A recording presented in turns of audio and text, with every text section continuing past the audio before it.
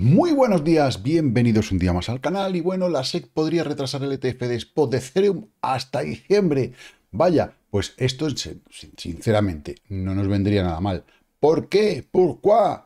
Pues muy sencillo, porque si tenemos en noviembre las elecciones en Estados Unidos, pues resulta que tener un punch, un poquito de FOMO en diciembre no va a venir nada mal, porque mm, ya sabéis que todo esto que se está fraguando se puede sostener o se podría sostener, en todo caso, hasta las elecciones. Una vez que lleguen las elecciones, eh, depende de quién gane, puede haber cataplón o no, y luego el efecto entrenador nuevo. Es decir, el primer trimestre podíamos tener esa sensación de, bueno, las cosas mm, siguen tal, tal, tal, pero después no hay quien tape ya todo el embrollo en el que se está metiendo el mundo en general. Y también, por otra parte, tengo que darle la razón por una vez a Justin Sun. ¿Por qué? Pues muy sencillo, por algo bastante gordo. Tron argumenta que la SEC no es un regulador mundial. Y estoy totalmente de acuerdo. Estamos hasta las narices de que la SEC meta su hocico en zonas donde no les corresponden. A pesar de, no, es que tal, vamos a ver. Si tu cliente viene y me compra, a mí qué cojones me... Págalo con tu cliente. Yo intento que no me compren. Pero si me entran eh, desde una VPN, eh, resulta que ahora me ponen una documentación que no es suya o no sé qué, iros a tomar por culo, claro. O sea, es que eh, esto es lo que hay. Esto es lo que hay ponle la multa a tu ciudadano, no me la pongas a mí, que yo estoy muy tranquilo donde, donde tenga que estar. Y le tengo que dar absolutamente toda la razón, ¿vale? Porque claro, es que no es, no es un regulador mundial. Estados Unidos siempre metiendo el dedo en el ojo de todos los demás. Y en vez de darse cuenta que cuando le mete el dedo en el ojo a alguien, hay otros tres dedos que se lo están metiendo en su puto ombligo. Y eso es lo que hay, esa es la realidad. En fin, Vamos al mercado, que es lo que nos interesa, en este primer análisis bañarero. Eh, bueno, hay algunos sitios que estáis de vacaciones, eh, en otros sitios seguimos de vacaciones y seguiremos siempre, o no, seguiremos, yo qué sé.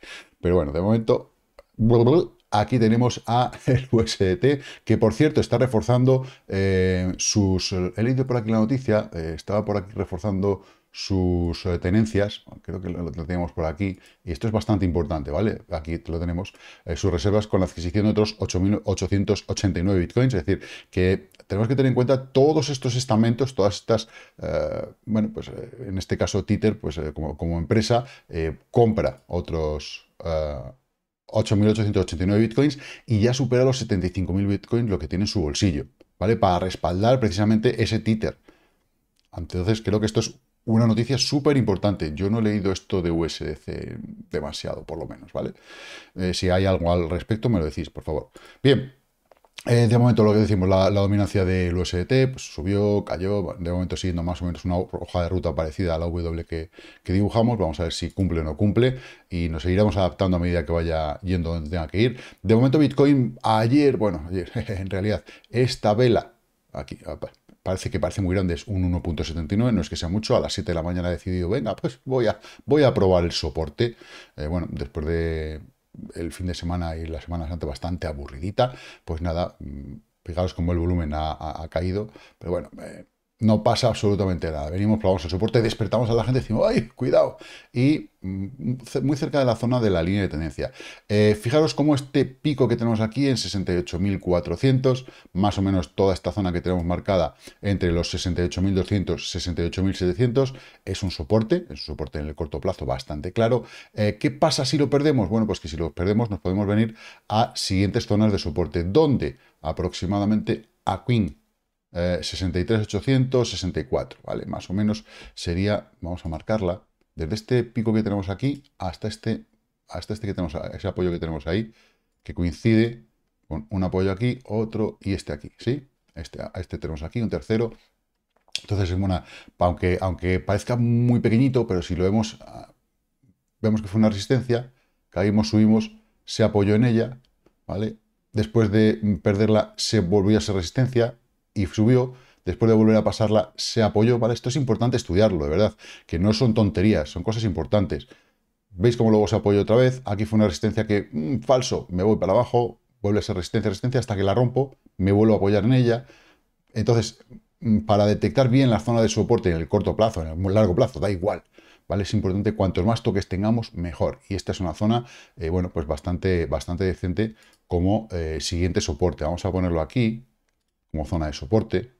Creo que es importante venir calentito después de un poquito las vacaciones, haber descansado, está bien, venir, ir marcando posibles zonas.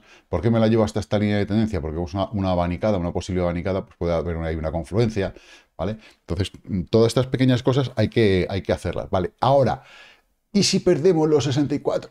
¡Ay! Pues tenemos la zona de 61 con este pico que tenemos aquí, ¿vale? Que viene, viene un poquito más atrás, pero bueno, si yo voy a coger aquí, venga, todo valiente, me voy al pico y hago así, ¡plas!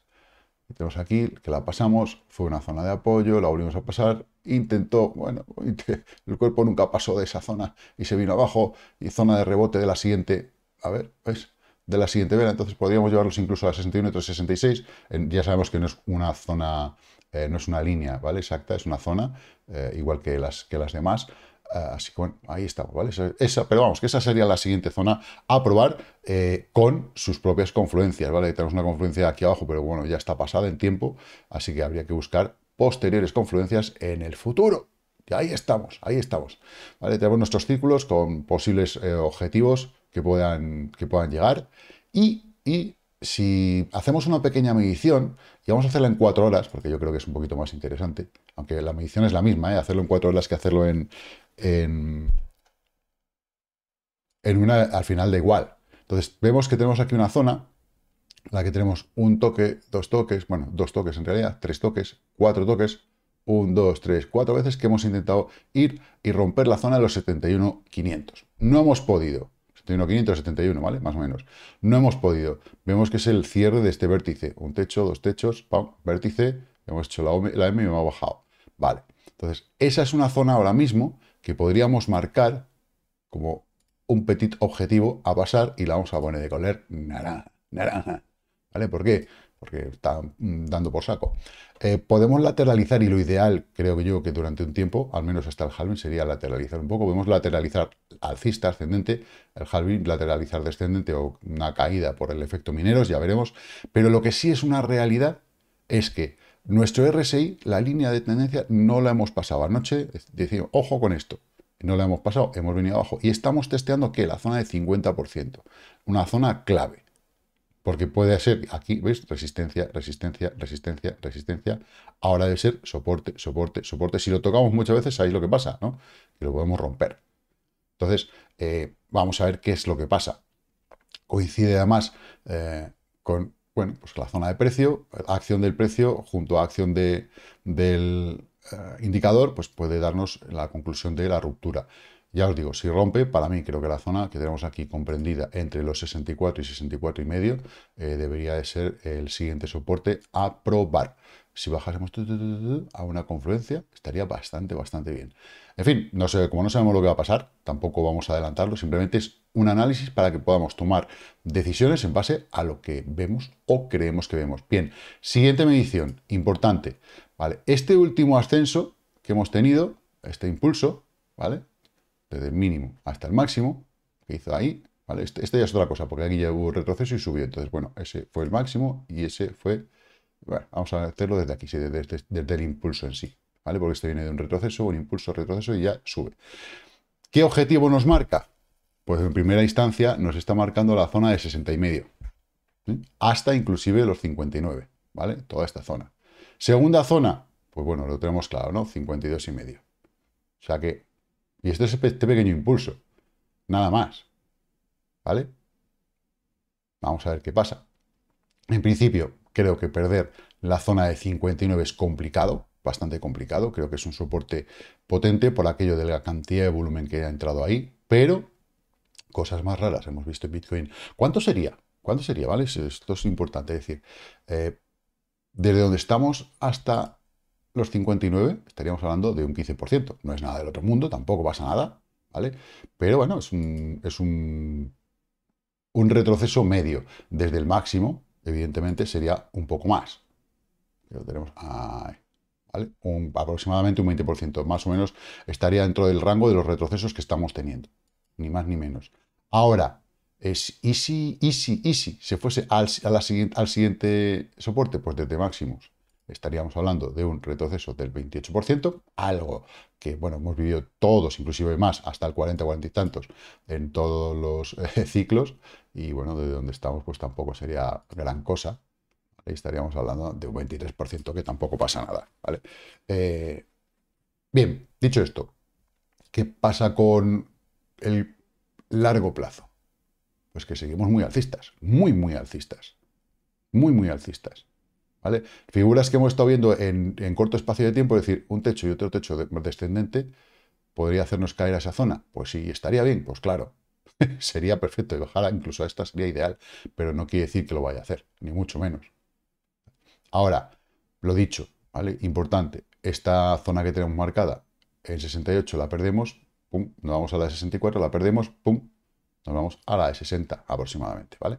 Eh, son los, bueno, pues tres, tres, pasitos que hay que tener en cuenta, que puede que no se produzcan nunca. Oye, que nunca vayamos a bajar a 60 es muy alto, es hablar demasiado alto. Sobre todo con el halving a unos días vista, ya queda muy, muy poquito. Empezamos abril. Eh, y si nos vamos además al rango mensual, podemos ver que es el primer. A ver, aquí. Abril de momento está rojo, Dios mío. Tenemos 1, 2, 3, 4, 5, 6, 7 meses seguidos totalmente verdes, unos meses más allá, otros meses más acá. Mirad cómo está el RSI de mensual. Estamos, bueno, ahora estamos un poquito eh, por debajo de 70, ¿vale? Evidentemente, en el bull run se fue a 86, o sea que todavía para eso queda un rato. Si hiciéramos una subida, fijaros, fijaros de dónde estamos, más o menos, ¿vale? Es a mitad de este mes. Fijaros la subida que se pegó todavía hasta el máximo de un 303%. ¿Vale? Solamente por ese, ese, pico RSI. Ojo, ¿eh? Ojo con esto. Porque hay gente que dice, no, es que ayer, pues, por ejemplo, puse un vídeo que, pues, en el vídeo una, una, opinión de alguien que podemos hacer un 110%, no sé qué, un 150, un 100%. Sí, totalmente de acuerdo. Totalmente de acuerdo. Entonces, eso es mucha pasta, ¿eh? Eso es mucho dinero. Aparte de ser mucho dinero, eh, bueno, pues hay muchos impuestos. Esa es la, noticia buena, ¿no? Que hay, que son buenos impuestos y como buenos ciudadanos, pues vamos a ayudar a otros. Bien. Eh, ¿Qué pasa con el total market? Pues cae. Ayer hizo una falsa ruptura de la resistencia. Bueno, pues cae, cae. Muy bonito. Y la dominancia de Bitcoin sube. Si el market cae y la dominancia de Bitcoin sube, las altcoins están sufriendo. Por su parte, el dólar despierta. San Francisco, despierta en verde. Bien. Y las altcoins, Blacktopia, ahí lo tenemos bajando. Vamos a ir primero a las más positivas, porque hay algunas, no hay muchas, porque ya estamos enseguida aquí entre el 3 y el 2%, pero tenemos a Ghost, los cortos de Bitcoin, que suben, como era lógico. Digibytes 21%, muy bien, rompiendo la zona de resistencia, súper importante para Digibytes porque es la histórica importante, es decir, ves todos estos apoyos, creo que se ve bastante claro, ¿vale? La pérdida, retesteo al infierno y un toque y al segundo, ¡pum!, lo rompo. Ahora a consolidar ahí, que consolide, que consolide, que consolide, que el mercado se lo permita. Si no, pues a perder y a consolidar con una banderita ascendente aquí que vaya poco a poco. Celer ANKR, un 480, Waves, que sigue existiendo. A mí me gusta contra el, contra el Bitcoin, ya lo sabéis, eh, que bueno, tiene que volver a la zona de los 495, esa línea verde que tenemos ahí marcada. Eh, para intentar romperlos. Todavía le queda un poquito de camino. Bien, muy bien. ORN, BGB, Bit2Me, 353, eh, Fiat, Tidan Arena, SEC, bueno, tampoco es que haya mucha cosa, cadena, poca chicha, Cava, REN, vale, buena cosa también, STX, 0,90 y pico, y bueno, ya estamos aquí, ya entramos en la zona negativa. Los más negativos, ¿qué tenemos en, el camino de los más negativos? De ping, claro que ayer de ping subía y hoy pues, pues hostia, normal la zona esa supuesta resistencia que tiene, pues lógicamente no puede con ella, ¿vale? Supuesta no, es una resistencia real. eh, Voxel VRA, CFX, TREP, ITEC, 10%. Bueno, después de romper esa línea, ahora se apoya en ella, bueno, ya veremos, esto es todo muy, esto es muy relativo, ¿vale? Y de momento ese es el dibujo que está haciendo en cuatro horas.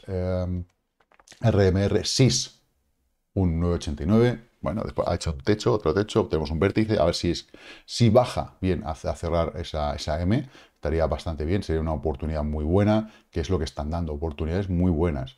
Eh, FIO, Ordi, eh, Boson Protocol 750, 724, uh, Pepe, 7,90 o 8 prácticamente, está en una zona en la que está luchando por mantenerse.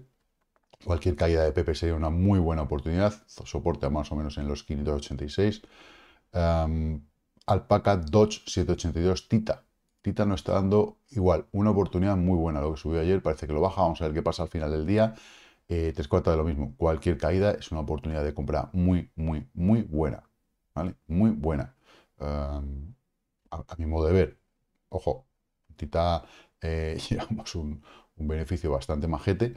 Así que bueno, luego eso ya depende de lo que cada uno quiera hacer con su cartera, su bolsa, su dinero. Vemos que aquí estamos perdiendo esta, esta, línea de tendencia que ha funcionado una vez, dos veces, tres veces, cuatro veces, cinco veces. Eh, en realidad aquí hay dos, porque desde aquí, desde que marcamos estos otros mínimos, ahí hay otra zona bastante clara, con dos toques. Entonces tenemos una abrazada. Eh, toda la zona intermedia de caída entre una y la otra, para mí es zona de compras, que se puede perder y se puede pegar un cataplón, depende de los días que pasen, vamos a ver qué pasa con el halving, eh, y a mí me interesa mucho, mucho, mucho, por eso estoy guardando un poquitito de liquidez, más de lo normal, si normalmente guardo un 10, pues voy a guardar un 15, ¿por qué? Porque el 10 para Bitcoin, el 5 será para algunas altcoins que puedan dar muy buena oportunidad con una caída post-halving. Evidentemente que muchos podréis pensar, y mucha gente lo pensará, estoy seguro, que eh, bueno, pues eh, una caída post-halving, eh, todo el mundo piensa que va a caer y a lo mejor hace todo lo contrario. Puede ser, totalmente de acuerdo, totalmente de acuerdo. Pero yo no puedo estar planificando en base a, hoy, bueno, puede ser, puede no ser. No, no, yo planifico en base a, creo que va a hacer esto, hago esto. Que luego no lo hace, no pasa nada, ya veré cómo lo aprovecho y me adaptaré al mercado.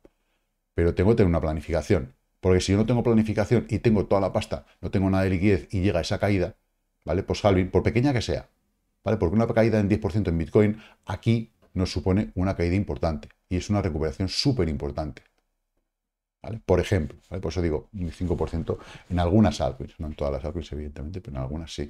Entonces, bueno, a ver si sigue cayendo y nos da buena chicha. Eh, Dodge Niar eh, Cilica, la abuelita también, 781, lo está haciendo bastante bien, eh, intentando romper esa zona de los 0.3658 eh, Shiba, Shiba Inu 712 también, Hondo, otra de las que, bueno, pues están dando bastante batalla, o sea, ahí estuvimos midiendo los objetivos y la verdad es que lo está haciendo muy, muy bien técnicamente. Cualquier caída a la zona de soporte, evidentemente 0.67 es una muy buena oportunidad, eso es lo que yo creo. Eh, Luna, ATA, Coin, Bonk, IOTA también un 7%, ¿vale? Todo esto igual, y otro está peleando todavía con esa resistencia que se le está resistiendo durante mucho tiempo, no es una, cosa de ahora, ¿vale? desde, que, desde que esa zona es zona, ¿vale? En su día ya fue resistencia, ¿vale? En toda esta zona ya fue resistencia, resistencia, resistencia, resistencia. Ahora, desde que se perdió resistencia, resistencia, igual, o sea, que está, está siendo dura, pero una vez que se rompa esa, el siguiente paso tiene mucha menos resistencia hasta los 0,57, que es son las claves muchas veces de este mercado. ¿no? Em, Ape también está por aquí, los bonitos, Ki, Río, bajando un 6,81 hoy, ayer subía y antes de ayer bastante, pero bueno, hoy retrocede, pues es lo que hay. Esto es el mercado, es así, tiene que hacer ahora una consolidación porque, bueno, tenía el RSI bastante desgastado, así que, bueno, que consolide en la zona y si nos da alguna oportunidad, alguna comprita por ahí, la compraremos. Um, INJ 625, también eh, Shai, MCX, Polis, también 622. Por cierto, había gente que me ha preguntado, oye, ¿dónde puedo comprar Río? Pues Río lo puedes comprar en, CoinEx, dejaré por ahí debajo un link. Uh, Polis, también la tenéis por aquí, bajando un 6 y pico, a ver si igual, si tenemos suerte y nos da una oportunidad de comprar por debajo de los 0.30, si no, pues nada. Eh, seguiremos con lo que estamos, que yo por lo menos estoy contento con lo que tengo. 6. Atentos a algunas de estas que ayer ya lo dije en el vídeo de ayer que tienen eh, suelta de tokens importante, ¿vale? Y SEI es una de ellas. Este mes sueltan un montón de tokens. Los Axis también sueltan un montón de tokens. Entonces, cuidado, ¿vale? Cuidado porque, bueno, puede pillar a alguien un poquito desprevenido. Cake, Illuvium, Library Cage, GRT, Audio, bueno, y ya estamos en torno al 6-5%. Maná también anda por ahí en esas pérdidas, la mayoría, vamos, es que esto es algo normal, pero sí que tenemos eh, en realidad algunas que si ya nos vamos por debajo, render, buena cosa render, em, que también está dando oportunidad, por cierto, de empezar a acumular. Creo que es una pequeña compra en esta zona, pues yo haría un 1, 2 y 3 al siguiente soporte, ¿vale? Em, bueno, haría, no, es lo que, lo que hago, es decir, yo empiezo a comprar ya, ¿vale? Y compraré a mitad de camino y compraré en esta zona. ¿Que luego se va más abajo? Bueno, pues ya veremos, Dios dirá.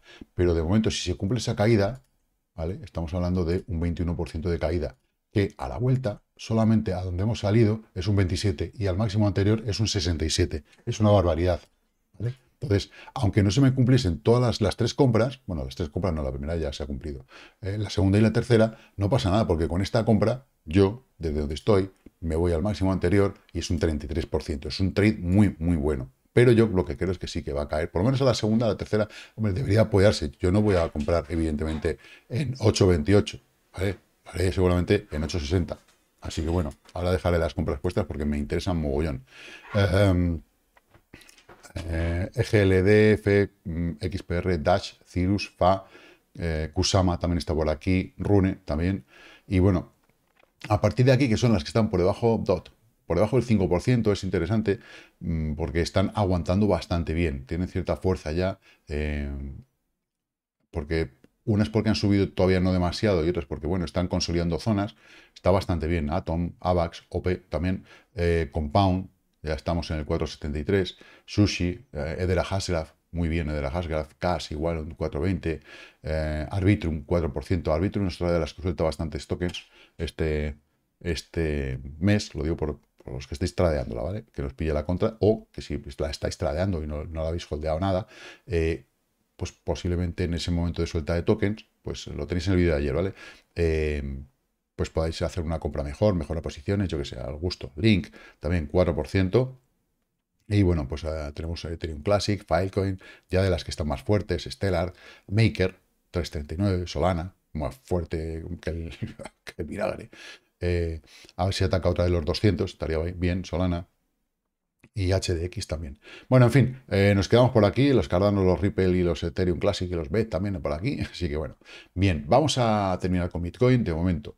Eh, tenemos una pequeña, pequeña zona de confluencia, eh, porque es todavía un soporte que es muy débil, es nuevo, eh, la zona de 68 y medio, vamos a ver si cumplimos con ella y volvemos a tocar arriba, y si no, y si la perdemos y nos venimos a la zona de soporte de la zona de 64, sería maravilloso, maravilloso. En fin, tenemos pequeña zona de parado al camino, pero bueno, no las doy más importancia porque pues, tampoco tenemos una zona de amortiguación que es toda esta zona verde hasta los 67, pero bueno, la, zona importante está aquí, en esta zona de 68 y medio. Fin, chicos, chicas, eh, que paséis los que tengáis eh, estos días, eh, todavía un día de vacaciones más. Fantástico, y los que hayáis gustado el curro, pues ya sabéis, que os engañen lo menos posible. Como digo siempre, cuando digo es que lo que os engañen lo menos posible me refiero sobre todo con los sueldos que bueno que pidáis lo que os corresponde que os valoréis vale que es lo importante y como digo siempre invertir con mucha cautela guardar liquidez y que la paciencia os acompañe chao chao